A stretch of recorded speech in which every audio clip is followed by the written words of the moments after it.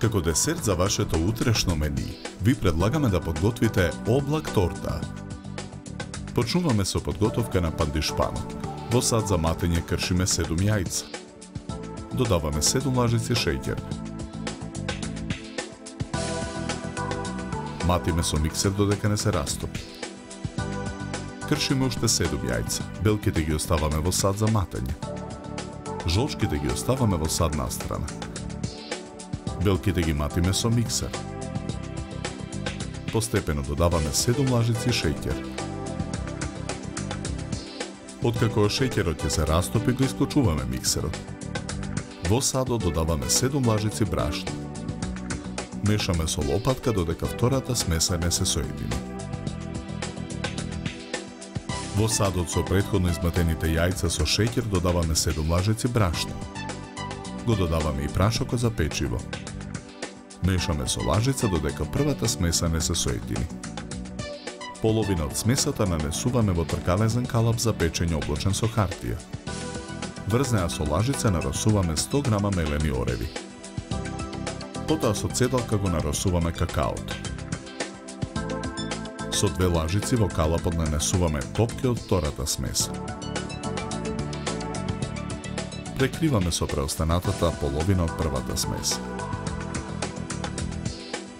калапот го ставаме во ревно. Печеме 30 минути на температура од 190 степени. Во меѓувреме го подготвуваме филот. Во тенџере на оган налеваме 700 мл млеко. Додаваме 200 грама шеќер. Во преостанатото млеко во мензурата ги додаваме 7 жолчки преостанати од втората смес. Потоа го додаваме брашното и прашокот за пудин го додаваме во мензурата. Мешаме со жица за матење.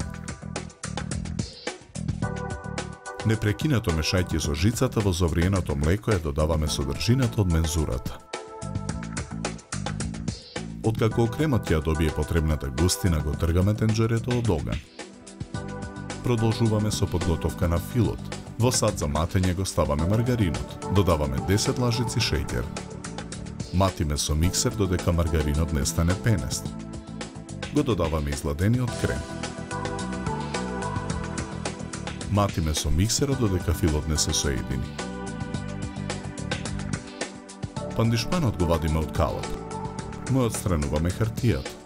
Го ставаме на чинија за торта. Потоа целиот пандишпан го премачкуваме со филот На ситната страна од рендето ја рендаме чоколадата. Со лажица ја нанесуваме на средината на тортата. Постраничниот дел на тортата украсуваме со преостанатите мелени ореви. Преостанатиот фил го ставаме во сладкарска кеса. Со неа со ја завршуваме декорацијата на горната површина и страничниот дел на облак тортата.